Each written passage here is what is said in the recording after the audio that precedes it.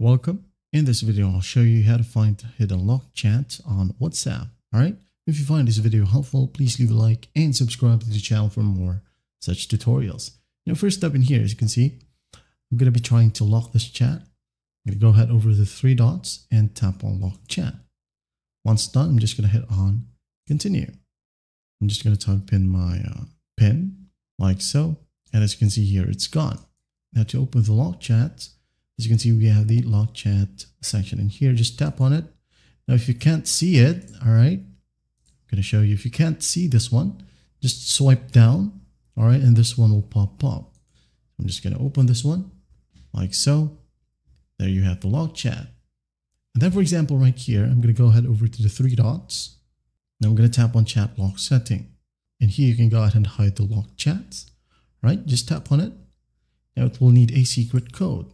For example, I'm just going to type in secret. Okay.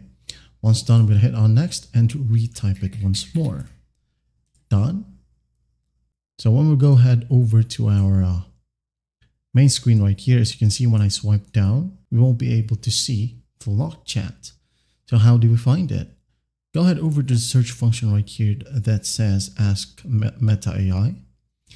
Tap on it. Now go ahead and enter your code. For example, secret like so. As you can see, lock chats popped up. Just tap on it, and here you have your lock chats. That's basically how you do it. Well, I hope this video helps, and uh, I'll see you in the next one.